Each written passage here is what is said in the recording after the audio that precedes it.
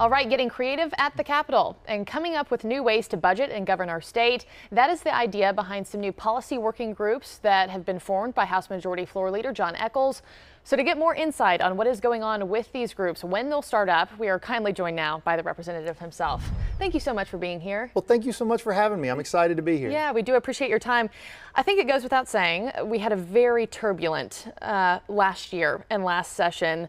We struck a deal on a budget, but a lot of people I feel like are still anxious about what's to come next year. So tell us about these groups that you formed and, and what the main mission is. Well, the purpose is if, uh, what I've been telling people if you want to have a great session, a great February to May, you're going to have to have a great, you know, eight months where we're not in session, planning, getting ready for session.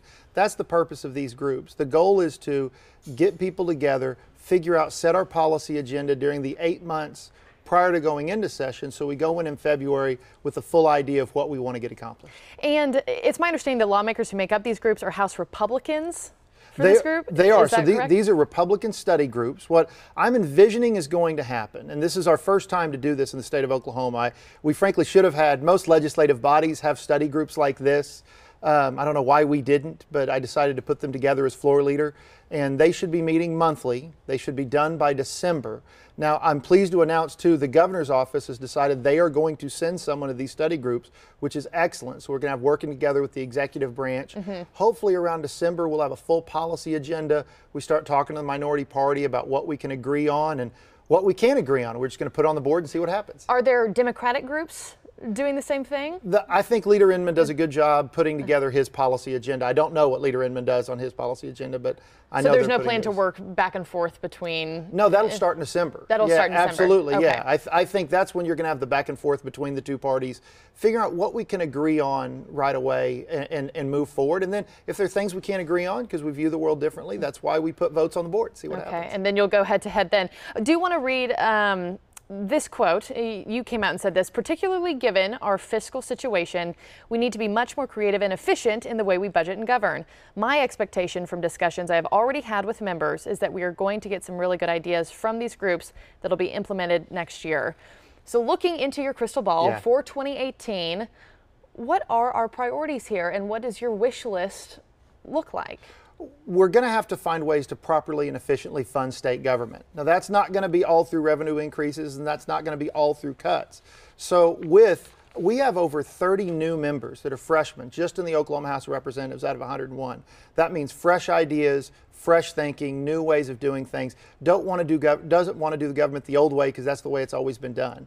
I think the priorities are still going to be trying to find a way to fund core services, trying to find a way to have a teacher pay raise, but to fund government in the most efficient manner possible. And you took me to my next point that I was going with teacher pay raises. I think that was probably one of the most uh, hotly, uh, Yes. you know, discussed fights uh, that people were trying to, to get accomplished. The, the new budget did not have teacher pay raises in it. Is it actually realistic, do you think, to expect that in 2018 and just a year from now? The House passed a budget with a teacher pay raise that the Senate did not take up. It held the budget that the House passed with the teacher pay raise held 15 uh, agencies harmless or increases. It was a 8% cut to non-core agencies and included a $1,000 teacher pay raise. I think we could have done that last year. I think we should have done it last year, and I'm hoping we get it done next year. but why wasn't it? Well, th- when the House decided to pass it, it wasn't that wasn't the budget chosen by the Senate. It wasn't by the wasn't the budget chosen by the governor. So mm-hmm. at that point, that wasn't something we could do. And why do we think things will turn around for us next year? And also, probably worth a mention, this was the 13th year in a row that education bu- budget wasn't met on time. On, Correct? on the April deadline. On the April absolutely. deadline. Pa- part of the problem with the April deadline, Which I feel is, like is unconstitutional. yeah, well, it's a statute. It's not the Constitution, but um, Or against of the law, I should say. Yeah. I'll- yeah. I, I retract my statement there. Against the law. But part of the problem with the April deadline is Mm-hmm. we don't know how much money we have to budget till the end of March. So had we passed an education budget April 1, it would have had around a 10% cut Mm-hmm. because it didn't include new revenue that was generated through the rest of session. Now that being said, when we do get those final certification numbers at the end of March, one of the committees I'm talking about is a budget reform committee. Uh, the one year we, we did pass that on time is when we passed a budget at the end of March with the money that we had. Showed the citizens if nothing changes, this is the dollars we have to appropriate. Remember, Oklahoma's not like Washington.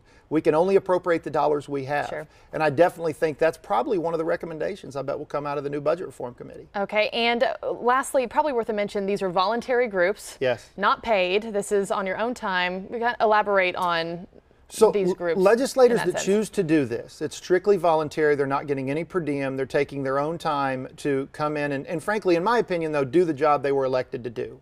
I think we have a lot of potential in the legislature, but we need to unlock it. We need to give an opportunity for creative thinking, an opportunity where they know leadership has their back. When they come up with good ideas, we're going to implement those ideas.